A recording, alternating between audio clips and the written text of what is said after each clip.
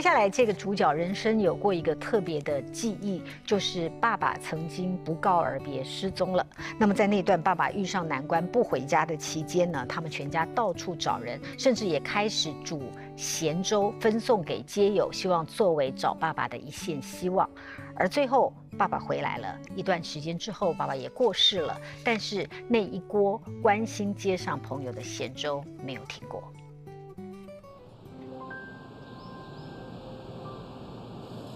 曾炳燕有一家小小的美食餐厅，每周二是店休日，周一晚上打烊前，店里总是煮着一锅咸粥，菜豆和三层肉加虾米爆香，再放进大骨汤和生米一起熬。只是炒这个时候要下班前就先把它炖好，把它放着还好啊，就慢慢炖啊，啊下班再摇一摇就送过去，很快。豆子粥是妈妈从前常煮的古早味，也是爸爸最喜欢的味道。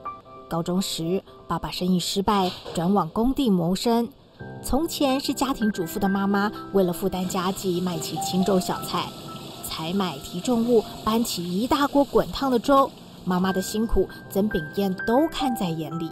其实那时候我是算是读夜校，然后早上我本身自己本身有一个正职的工作，然后正职工作去做完之后，去先下课。先去把妈妈的那个青州脚在扛棒推出推出去，然后推完出去，先帮他自己下，然后再去读书，读完书再去把扛棒帮帮他推回去，再整理一下，我再去做打烊班这样。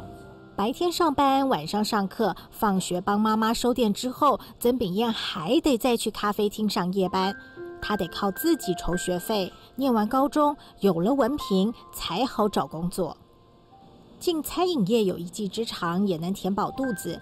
从中餐、西餐、面包，曾炳燕都做过。他的意大利面就是用自己的配方定做的宽面条，有口感，够绝劲。刚进西餐厨房时，才知道意大利面的种类多，各种餐点的英文名字各有不同。读夜校时忙于工作赚钱，没时间好好念书。曾炳燕进了厨房，还有更多不容易。当时我。把那个出菜单上面都是写英文，像会写说 omelette 啊，就用英文。但是我那时候不懂英文嘛，我就把英文上面都写注音，什么就用 b u r p l e m 喝下去注音。爸妈都很辛苦，曾炳燕想早点学会本领，每道餐点里都有他的苦练苦学。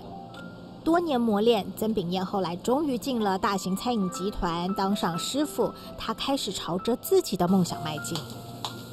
手打汉堡肉是曾炳燕用掌心温度传达的诚意，两手来回把汉堡肉里的空气打出来，让绞肉更紧实有口感。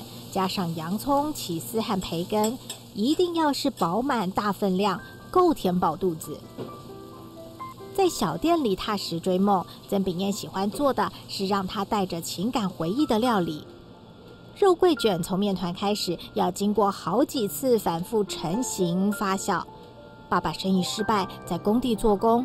年少的曾炳燕常跟着帮忙，烈日下工作对他是种折磨。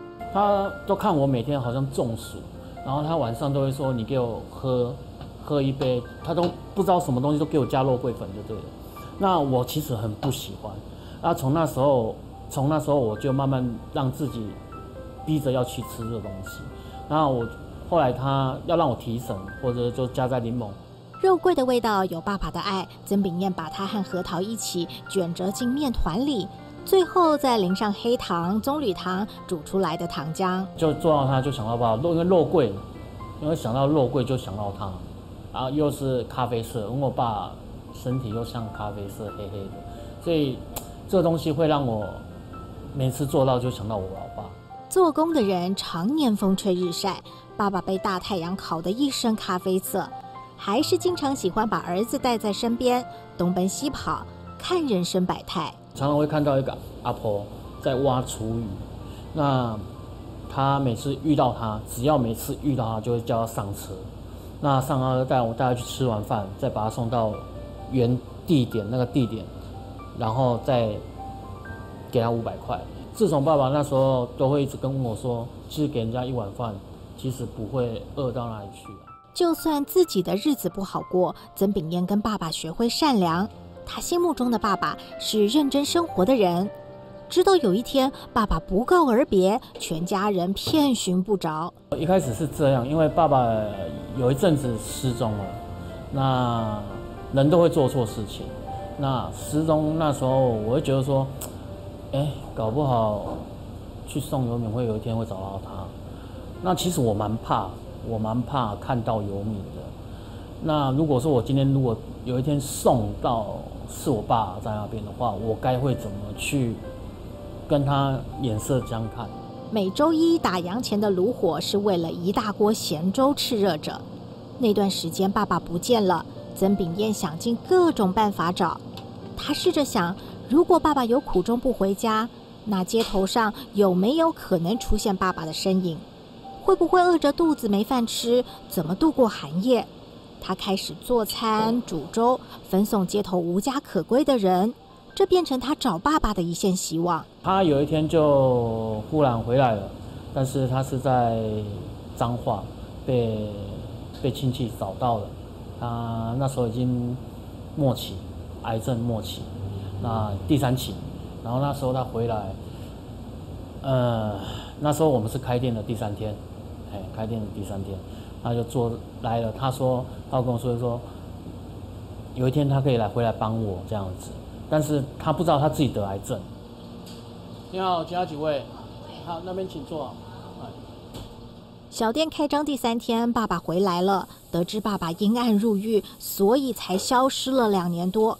父亲在他心中的形象一夕间崩塌，但还来不及消化这些情绪，曾炳燕就得知了爸爸离癌的消息，没时间修补父子重逢的亲情。三个月后，曾炳燕送走了爸爸。只剩下做着与爸爸相关的料理，和持续关心着街头无家可归的人，用这些日常点滴来记住爸爸的好，而不是那个曾经入狱不归的爸爸。之前我长时间这十年认识了一个得鼻咽癌，也是跟爸爸一样，但是我那时候买买了那个灌食的安那个补补乳品啊，那我就请那个旁边游民麻烦每天帮他补食。但是有一天，有一天我要去找他的时候，人已经那是有一天的寒流，人已经硬了，已经死了。但是他让我最感慨就是他他家人会不会知道？好像不也不会知道。不知道亲人身在何处，是否安好的担忧，曾炳燕经历过。爸爸走后，他把这些情感做了移转。像是弥补来不及关心孝顺的遗憾。因为妈妈以前都会煮豆子粥，那也当时是我爸爸最喜欢吃的。那游民其实有些人没有牙齿，而且都是几乎都是老人家。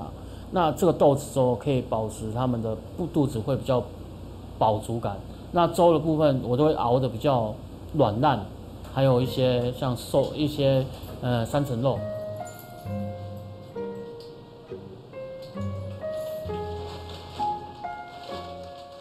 每周公休日的前一晚，煮好咸粥，拉下店门，沿着城市的霓虹，曾炳燕骑上机车，一处处去探望他街头的朋友。啊，礼拜二休假，然后礼拜一的凌晨的时候来送餐点，那所以他们给我取一个外号叫星期二。有时是沿路发送，有时是拿着粥在一旁静静等待。街边的人们经常很害羞。看到他是来了好几年的熟面孔，才慢慢走上前。他们都会问我一句：“我只要给他啊，你吃了吗？你吃了没？”但是我都跟他说我吃了，然后不然就是我其实送给他们，我最喜欢就是他们跟我说声谢谢，那种感觉我真的很开心。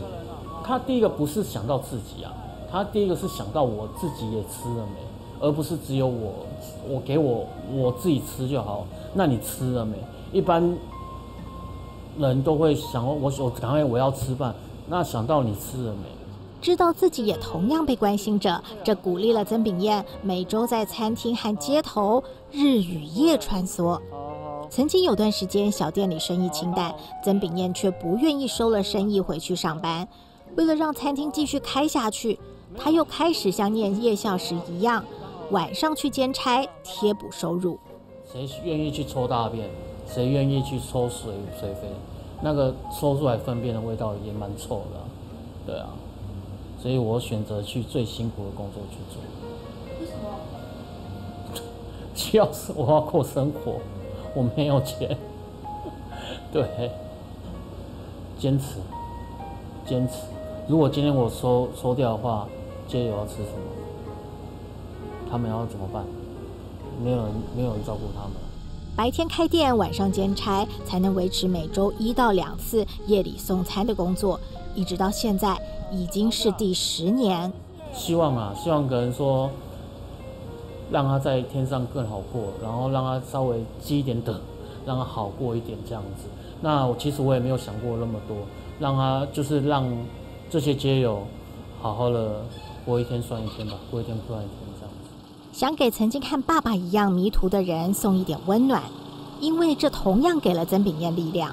有时候会有心情不好的时候，那你会看到你去送这些东西的时候，你自己本身会看到，其实这些人还在等着你去帮助他们。那你如果自己不加油，你有一天会不会跟他们一样？其实不见得，但是这些人其实都一直在等着你。这是我的原动力。现在是热的，不是温的。好，谢谢啊，谢谢谢谢。四张桌的小店，里里外外只有曾炳燕一个人忙。但不同的是，这些年有熟悉他的老客人加入支持他。我是帮他。啊，那你跟他说谢谢了。哎，要谢谢你。他为什么要找？你知道为什么吗？因为他他知道我在做公益啊，啊，剩下来我会帮他捐出去去采买一些食材。他那个是算熟客。开始有人和他一样，愿意给街角的陌生人一点鼓励。生活不容易，如果一碗热腾腾的咸粥能在夜里给人一点希望，这同时也是曾炳燕想念爸爸，用来鼓励自己勇敢生活的动力。的确，帮助人的时候也是自己的动力。